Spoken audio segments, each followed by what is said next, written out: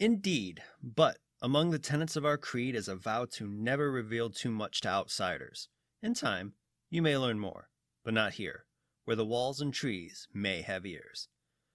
Basim ibn Ishaq, 872.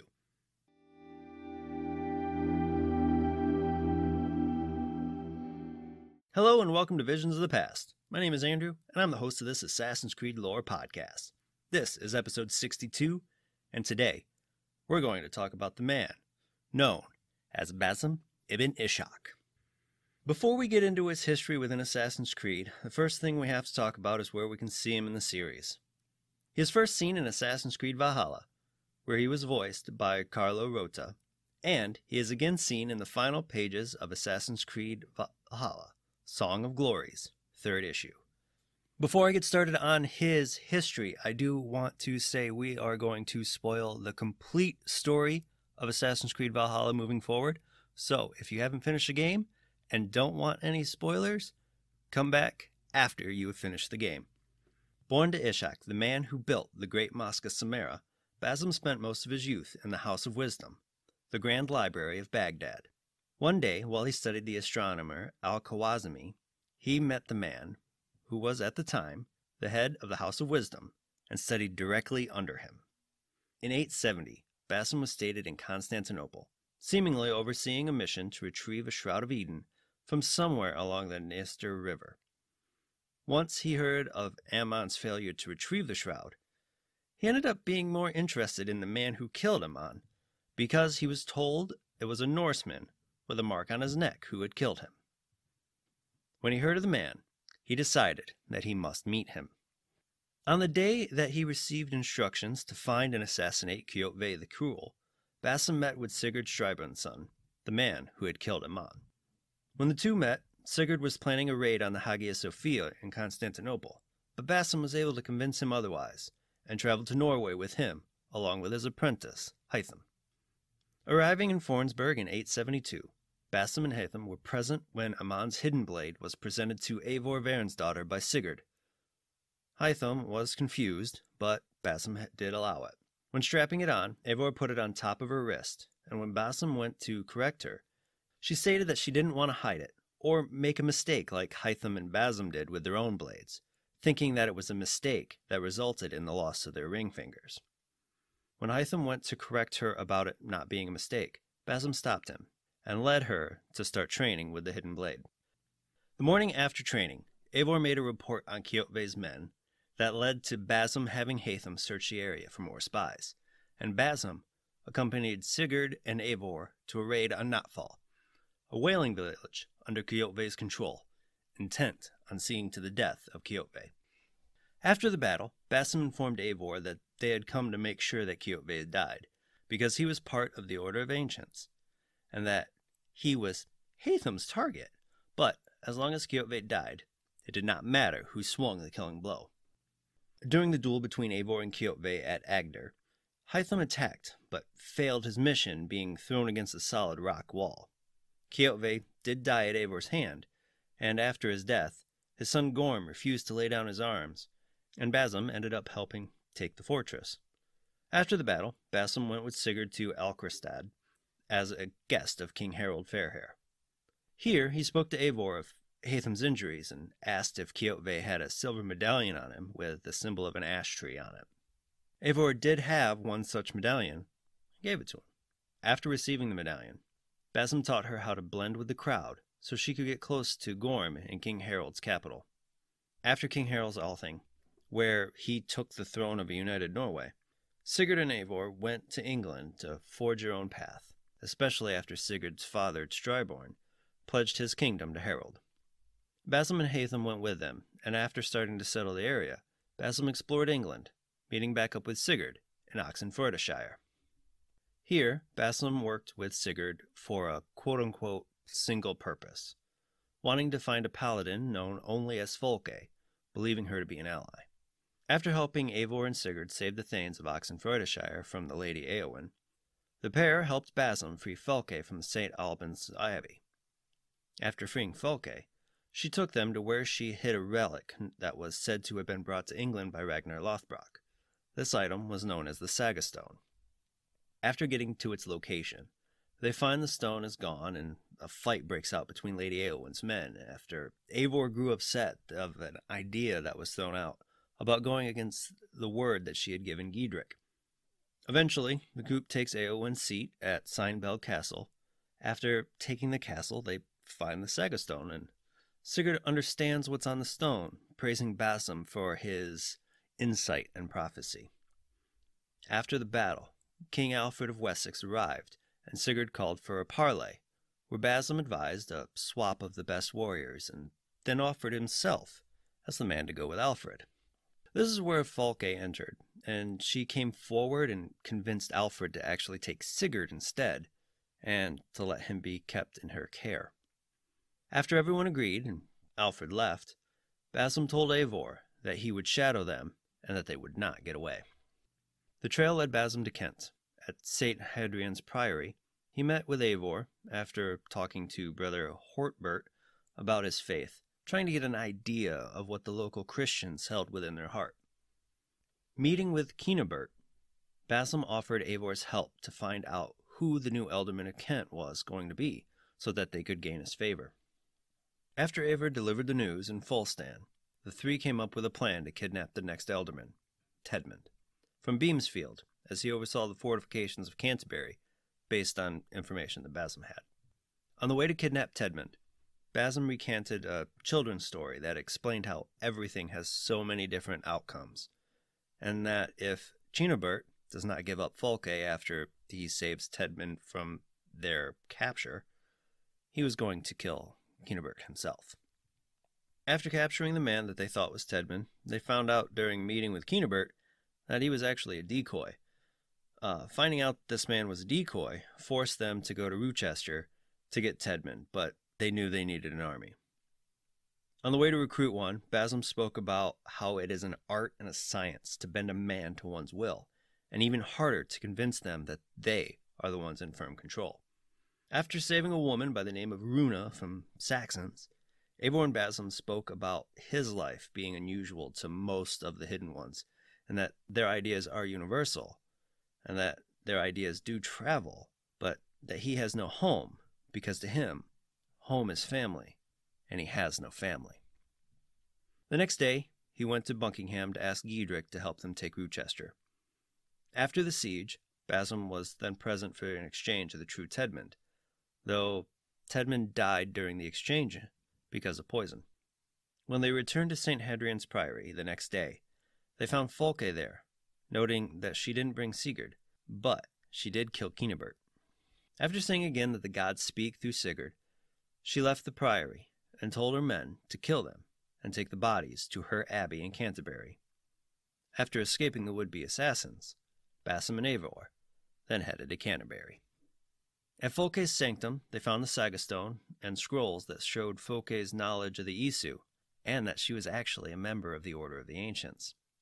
The pair ended up finding Sigurd's arm in a box on a chair that was clearly meant to torture someone.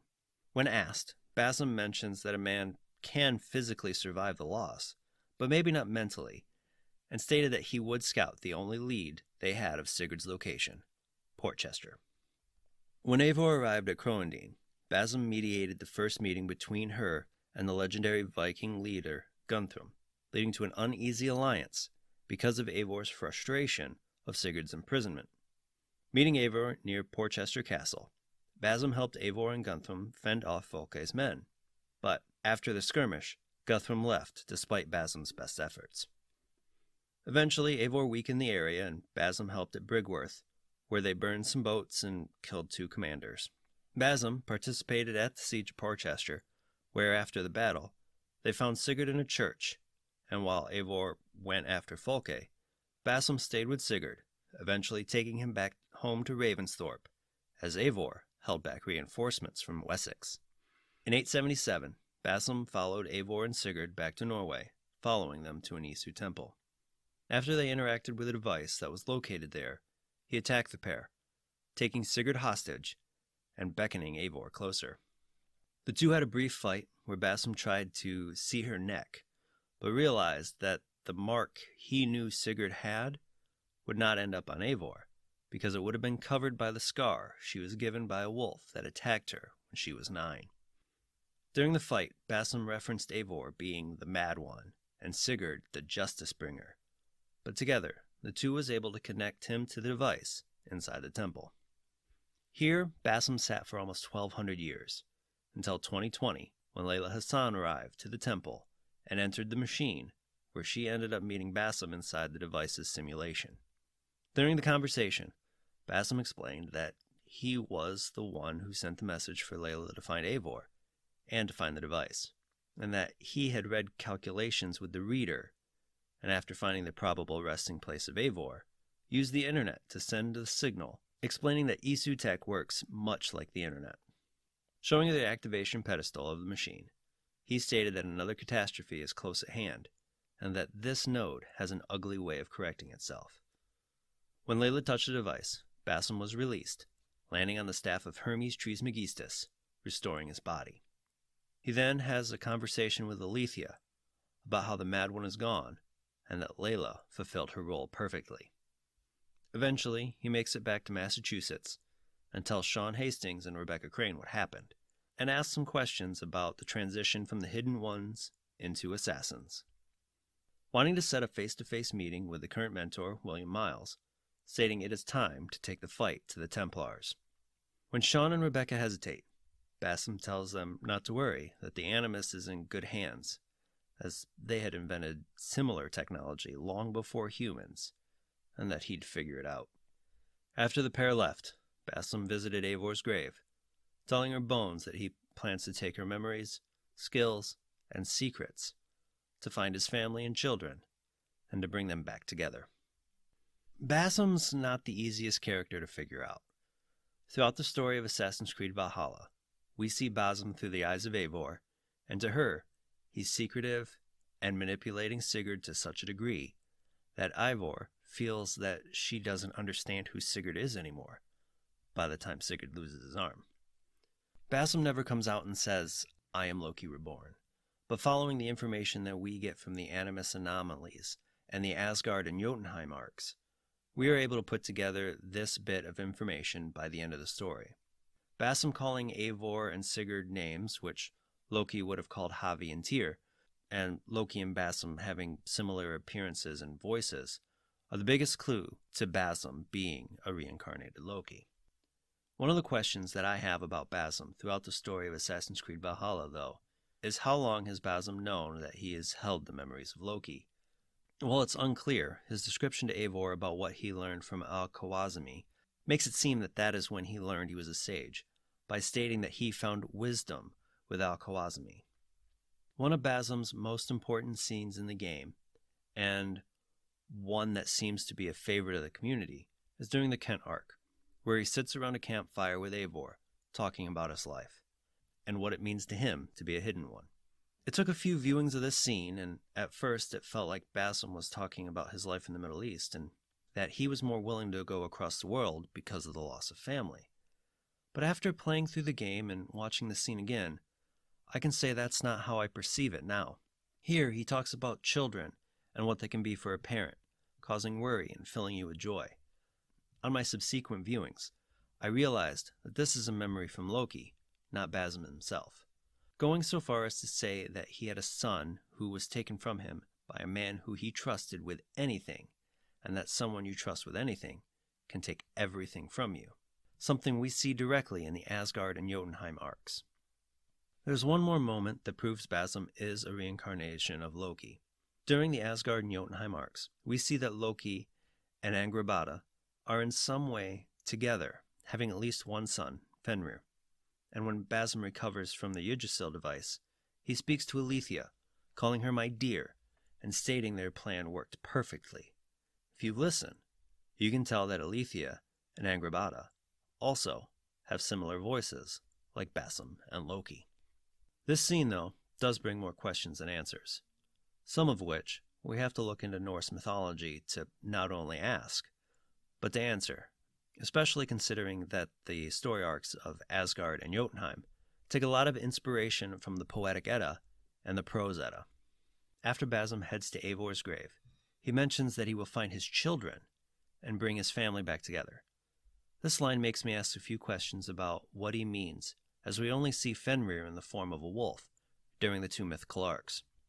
While the two Norse collections show Loki and Angrboda to be the parents of Fenrir, but also of Hel and Jormungandr, the world serpent. They also show Loki to be the mother of Sleipnir, Odin's eight legged horse, and the father of Vali, though Vali is also mentioned to be the son of Odin. Considering that Sleipnir is also the son of Salvari, the stallion of the builder, who we see in the Asgard arc, but not Salvari. I think it's safe to assume that because Salvari is not shown helping the builder as he does in the tale, that Sleipnir is not the child of Loki, especially with the two mythical arcs showing Havi riding a great reindeer named Hirin instead of Sleipnir. And because Vali is more often mentioned as the son of Odin, I believe that if he is an Isu, he will be the son of Havi. What does this mean for bringing the family back together, though? Is Fenrir alive as a sage like Basim, or is his consciousness trapped in another piece of Eden like Aletheia? Are their children from the myths also their children as Isu? Is the fact that they're monsters within the myths important? We see Fenrir as a wolf, but that's through the prism of Norse mythology. Does that mean they are some experiments like Project Olympios, or are they human Isu hybrids like Eve? And how will Basim move forward to bring his family together? Add Aletheia's manipulation of Layla, and we have to ask is this the new antagonist of the series? Or will they be shown as sympathetic, with Havi being in the wrong to take Fenrir from them, and having us play as Basim in the modern day?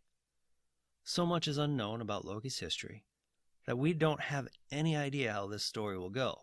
But this is the first time in a long time that I'm 100% invested in the modern day story without needing DLC to get me excited again. Speaking of DLC, Valhalla has two upcoming DLCs that continue Zavor's story. And I have to ask, will we see the modern day story continue? Will we see Basim eventually meet and talk to William Miles? I really hope so, as this conversation could really show what the future of the modern day story will look like, and hopefully expand on why and how Basim intends to bring his family together and his statement about going after Templars. Digging through the history of Loki and his relationship with Aletheia, along with his rivalry with Odin, goes much deeper than I can get into today, and will be something I discuss when we talk about the Yggdrasil device itself. But until then, let me know your thoughts on Basim in the comments below, and thank you for joining me today. And be sure to tune in every Tuesday for new episodes. If you love the Visions of the Past podcast, Please subscribe and share this podcast with others. If you have any questions about Assassin's Creed or topics that you'd like me to cover, please feel free to hit me up on Twitter and Instagram at visions underscore AC. And you can find those links in the show notes below. Until next time, my assassin friends, make sure to follow the creed. And to those Templars listening, may the Father of Understanding guide you.